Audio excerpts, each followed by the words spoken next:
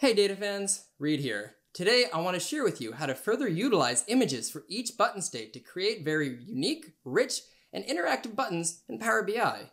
Now I had some fun with this one, so I created a practical button and one from the Star Wars universe, and I hope you like both of them. So let's go ahead, hop into Power BI, and get started.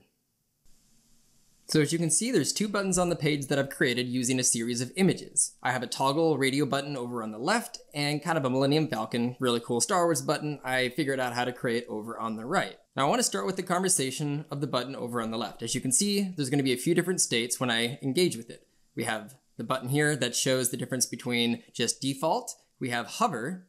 You can see that the red kind of now turns a red color. If I actually click it to engage it, it then toggles over to the off button. And same thing, there's two states, one where it's just inactive, and then the one where it's hovered to show that blue color to kind of indicate that you can click it. So it toggles between the two of them pretty nicely. As you notice, there's a little bit of an artifact. That's just the way that Power BI works. Unfortunately, it doesn't toggle them perfectly. There's sometimes a teeny bit of a little delay between turning off the visibility of one and turning it off for the other, but it still works as expected and the end results do get you that on versus off switch.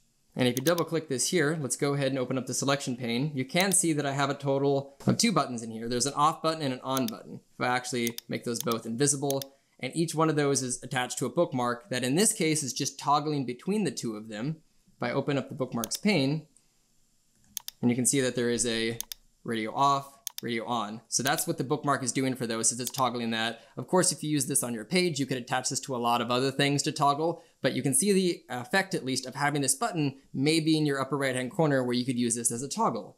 Same thing with the Millennium Falcon button. We have inactive, we have upon hover, if I click it, and then it flashes to the other side. Same thing, now it's turned on, inactive, hover state, and then final effect state. So that way it has that effect of kind of zooming across. Granted, I did not animate this myself. I actually found a button online that was using CSS script to actually have a fully animated Millennium Falcon moving back and forth, and I captured four different states. I captured the inactive, I captured the on hover. If I click it for a brief second, you'll see it appearing most of the way over here before it then hides and shows the other button. So that's why you see it kind of zoom across, stop roughly here, and then finish it up. So I have four states for both where it goes back and forth like that. And then kind of creates the illusion of actually zooming back and forth across. Closest I can get to animation for a button in Power BI, but let me show you the states now for both of these.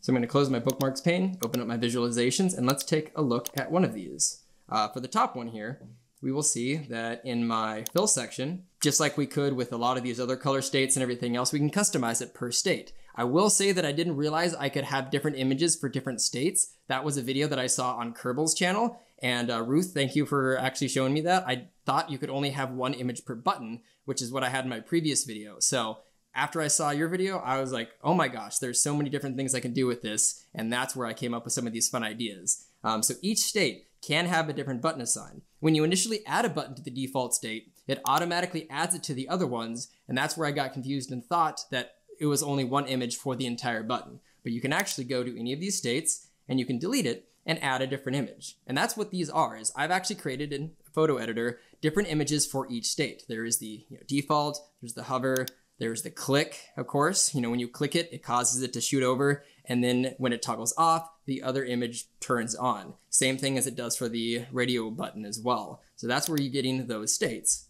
We toggle that. There we go. And same thing. State one, state two, state three just three different images that I've added in that specific setting over here. That's all those are, and it creates the illusion of having these really cool dynamic buttons. So fairly straightforward process um, as far as adding them in here. The thing, of course, is you actually have to make the buttons to be able to use this, um, but there's an entire range of possibilities now because you can make your own buttons and do whatever you want with it. I will recommend the link down below to Ruth's video that actually has another link which will take you to a PowerPoint file that has a template for a ton of buttons you can save as images to create a lot of these different things. Um, and then of course you'll have this file available. I'm not going to include the image files because this one was a button that existed already online and I just don't want to, you know, reshare that uh, content readily, but I'll at least have the PBIX file available to download so you can play with the button in the report, but you won't only have access to the original images that I built off of it. Thank you so much for watching, and please don't forget to like, comment, or share this video. If this is your first time to my channel, or you want to see more of these awesome videos, smash that subscribe and notification button. And last but not least, you can download the file for today's video from my blog files page using the link down below.